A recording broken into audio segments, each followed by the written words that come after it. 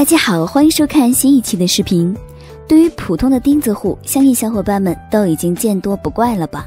大多数的钉子户都是因为拆迁款的问题才不肯搬迁的。但接下来要说的这些钉子户可不简单，对于他们无论如何施压，都只有两个字：不搬，堪称全球最牛钉子户。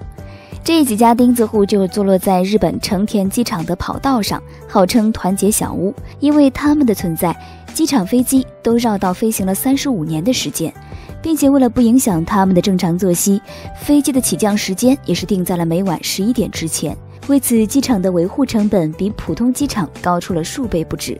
不仅机场无奈，政府对这些钉子户也是相当无奈。不仅赶不走，还得专门给他们修建公路，无形中政府预算也是高出了许多倍。成田机场于一九七八年开始修建，因为这几户钉子户的存在，至今没能完工。就连唯一的一条跑道也是耗时十二年之久才建成的。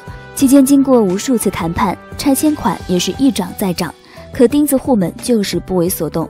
他们只有两个字：不搬。